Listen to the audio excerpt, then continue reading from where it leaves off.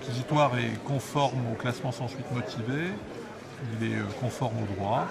Nous aurons donc l'occasion d'en discuter, mais vous savez, un réquisitoire ne lit pas un tribunal, bien sûr. Donc nous aurons l'occasion de développer un certain nombre d'arguments et peut-être d'expliciter encore davantage ce qui a été euh, dit tout à l'heure par le représentant du ministère public, c'est-à-dire celui euh, de la société en ce qui nous concerne aujourd'hui.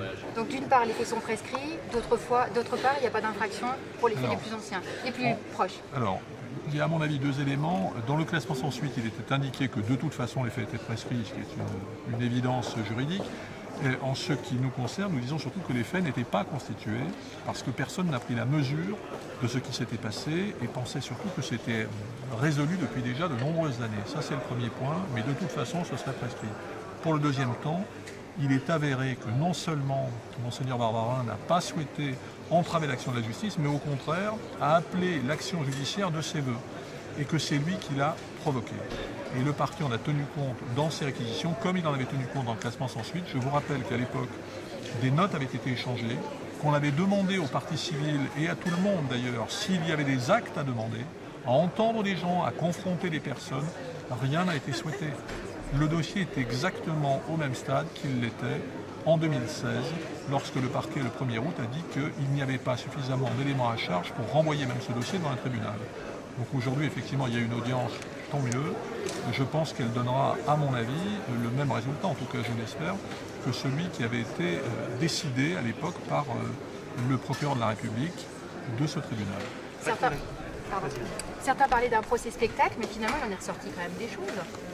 Je pense qu'en ce qui euh, nous concerne, disons que c'est un procès. Des gens sont exprimés avec beaucoup d'authenticité. Euh, des douleurs assez bouleversantes ont été, euh, je crois, mises à nu.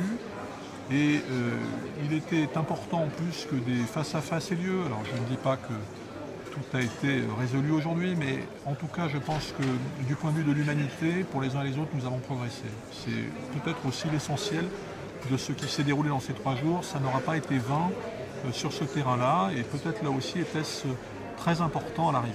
Comment le cardinal a reçu cette, euh, ce réquisitoire? Est-ce qu'il a eu une réaction? Vous étiez auprès de lui? Vous savez, le, cardinal, d'abord, n'est pas un juriste.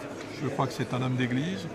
Donc il le reçoit homme d'église. Le cardinal a été, euh, une fois de plus, très ému par ce qui s'est dit hier et il a du mal à dépasser euh, la douleur qui s'est exprimée hier. Je crois qu'aujourd'hui, il est encore dans, le choc de ce qu'il a appris, euh, vu hier, entendu hier. Il n'a pas la cuirasse que nous avons malheureusement en tant qu'habitués des cours d'assises peut-être. Euh, je crois qu'il est toujours sous ce choc-là et que c'est ça qui, pour l'instant, l'occupe et occupe ses pensées bien plus que son propre sort.